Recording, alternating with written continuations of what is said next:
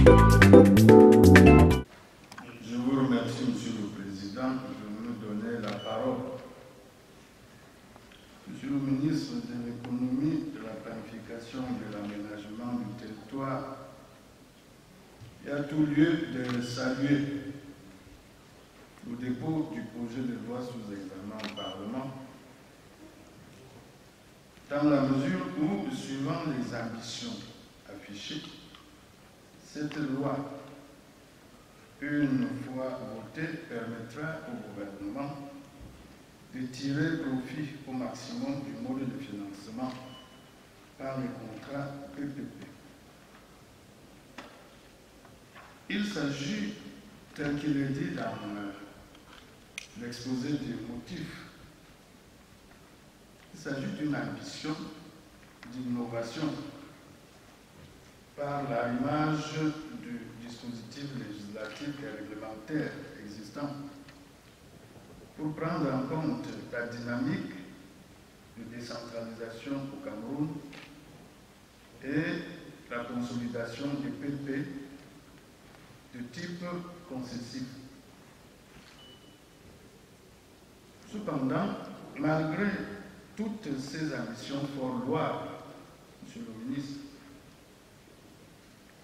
il y a lieu de s'interroger, ou alors de vous interroger,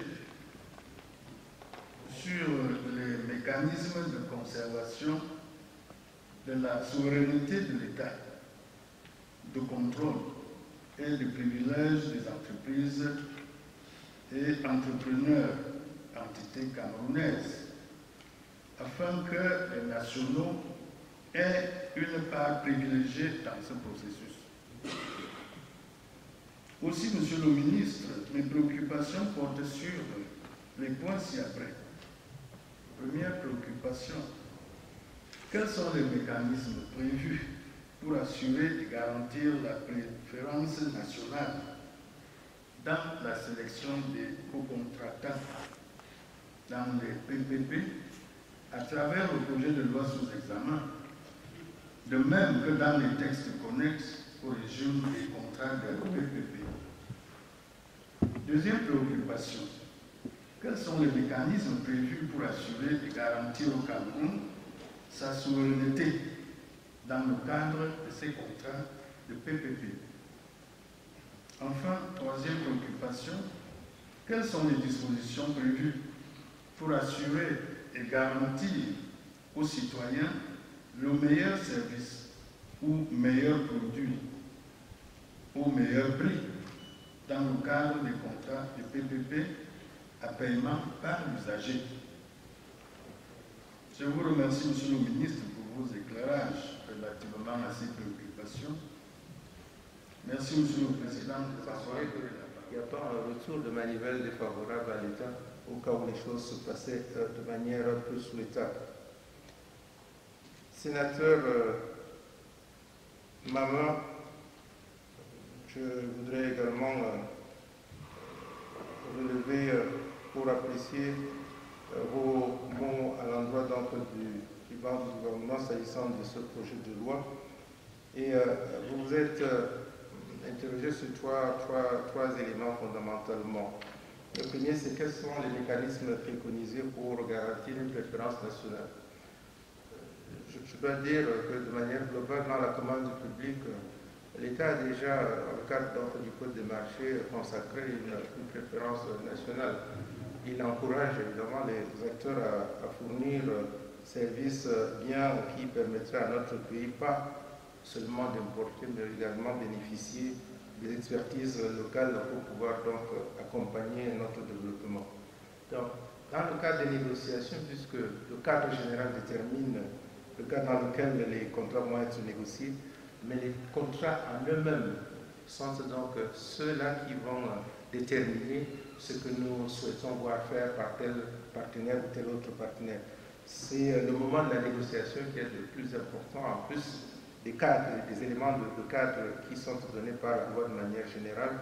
Nous voulons penser que dans l'esprit, l'esprit donc d'une souveraineté euh, économique beaucoup plus forte, que nous puissions toujours garantir une meilleure répartition entre la présence de nos acteurs, de nos champions nationaux comparés à des investisseurs qui nous viennent de l'extérieur, quand bien même ils ont des atouts qui sont appréciés par nous. Ça m'amène au deuxième sujet qui est le celui de la souveraineté de, notre pays.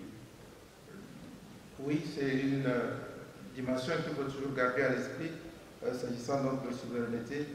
Et euh, il est important que chaque fois que nous négocions dans le cadre de ces contrats de partenariat public-privé, les dispositions, les clauses euh, qui conduisent à des prises de décision ne soient pas défavorables au Cameroun. Et ça, c'est la négociation dès le départ, c'est la connaissance de son dossier et c'est l'exigence qui sera celle des équipes qui ont la charge de ce travail. Pour juste illustrer, solidairement, l'accompagnement dans le cadre, il est soutenu, cet organisme expert par un avis de soutenabilité budgétaire et la prescription de tout ce qu'il y a à mettre comme clause dans le contrat avant d'obtenir la sanction de l'autorité qui en a la responsabilité en ce qui concerne les contrats de partenariat public-privé, s'agit bien entendu du plein ministre du gouvernement. Quelles sont les dispositions, ça c'est le dernier point, qui, qui euh, permet d'assurer le meilleur service euh, par rapport aux attentes de, euh, Je l'ai dit tantôt, tout part de la, qualité de la préparation, l'identification du besoin réel et le choix. Ce n'est pas par défaut qu'on va faire un PPP. Il faut analyser, avoir des éléments d'appréciation pour déterminer si oui ou non nous allons. Si euh, c'est le cas, alors on verra ce que la qualité de, service attendu par l'usager est garantie par l'opérateur en question. Et si dans l'exécution du contrat, l'opérateur est défaillant, alors les conclusions et les sanctions sont tirées. Il y a des garanties qui sont données euh, par euh, l'opérateur en matière d'exécution.